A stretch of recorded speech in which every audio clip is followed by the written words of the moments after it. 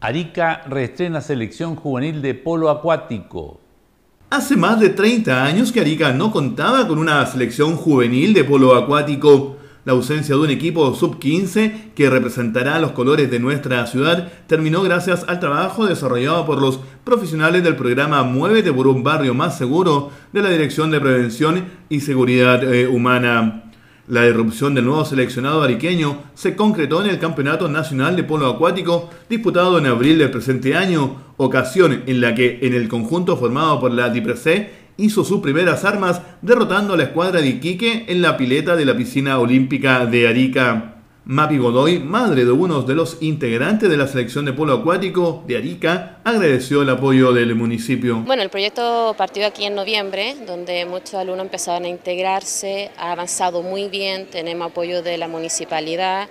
y bueno, nosotros como apoderados también a la par apoyando a nuestros niños, trabajando arduamente para reunir fondos ya que en septiembre viene un viaje a Santiago, entonces estamos organizando para los pasajes, buscando auspiciadores, pero gracias a Dios eh, somos una familia una familia donde todos los padres nos apoyamos, donde muchas familias le apoyan y los niños, lo bonito es que formaron una amistad, un lazo muy hermoso. Muchos son compañeros de curso, eh, se conocen de muchos años atrás, está el cuidado de los niños porque hay mamás que se entienden que no pueden ir por el horario y muchas hacemos como doblemente mamá de los niños, entonces no es maravilloso, los profesores igual, nada que decir con ellos, muy buenos profesores.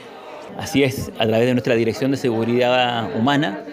usamos todas las herramientas posibles que tenemos como ciudad, como sociedad, para combatir la delincuencia, pero sobre todo para prevenir, para prevenir, para, trabajar con las familias, con los niños, con las niñas, y lo estamos haciendo en este caso a través del deporte. Lo bonito de esto es que fueron estas escuelas preventivas que hacemos nosotros en el verano para niños de toda Arica, para niños y niñas de toda Arica, y a través del grupo que optó por la disciplina de waterpolo, hoy día se crea una selección local de de waterpolo cuando nos tomamos en serio no solamente el municipio, sino que los niños, pero sobre todo sus apoderados, la prevención, surgen este tipo de cosas, este tipo de cosas que son realmente maravillosas, donde vemos a un grupo de niñas y niños detrás de un sueño, eh, poniendo a disposición su talento a través de este deporte de trabajo colectivo como es el waterpolo.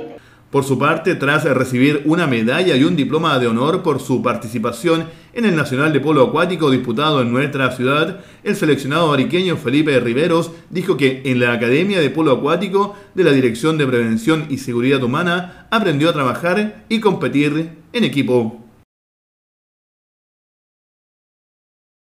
Bien, hasta aquí las informaciones. Les esperamos mañana en este mismo horario. Que tengan muy buenas noches.